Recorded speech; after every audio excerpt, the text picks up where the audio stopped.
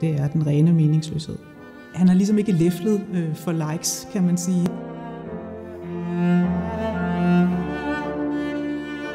Det her billede det er malet af L.A. Ring i 1889, og L.A. Ring han var symbolist og var optaget af at gengive menneskets indre og sindstilstanden. Det man ser, det er en gruppe kirkegængere, der går fra kirke. De går i en lille øh, procession, en øh, lille procession af sortklædte mennesker kommer imod os. Øh, øh, for os går en yngre kvinde og ser utrolig øh, trist og ensom ud.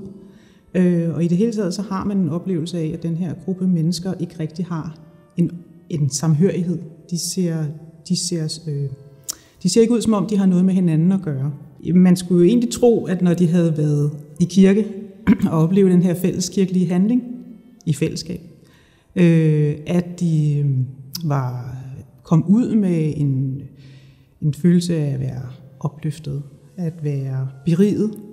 Øhm, og det ser ud som om, at det er det nærmeste modsatte, der er sket. De kommer ud og er triste.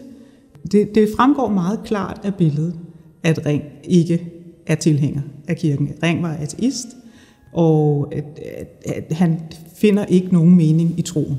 Det er jo ret bemærkelsesværdigt, at når man kigger på billedet, som handler om folk, der har været i kirke, at man faktisk ikke kan se kirken.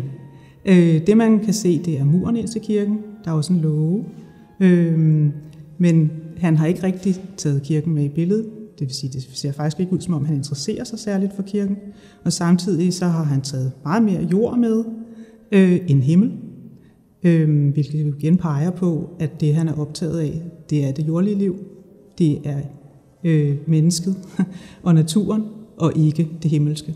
Ring han var meget påvirket af det moderne gennembrud, øh, og en del af det moderne gennembrudsstrømning, det var, at man øh, bevægede sig væk fra tro på kirken, øh, til fordel for at være, øh, have en tro på naturvidenskaben øh, og den nye teknologi. Så på den måde er, er Ring meget øh, man sige, i overensstemmelse med tidens strømninger. Man kan sagtens forestille sig, at øh, den stemning, man oplever i maleriet, er stærkt påvirket af, hvordan Ring har det i det hele taget øh, i, sit, sige, i sit privatliv øh, på det her tidspunkt. Øh, han har inden for øh, få år mistet både sin far og sin bror. Han står alene tilbage med ansvaret øh, for sin mor, øh, rent økonomisk. Det er et tungt øh, ansvar for ham. Og øh, derudover så er han til med øh, ulykkeligt forelsket i en af sine venners hustruer. Øh, så livet er tungt. Øh, han har det ikke nemt.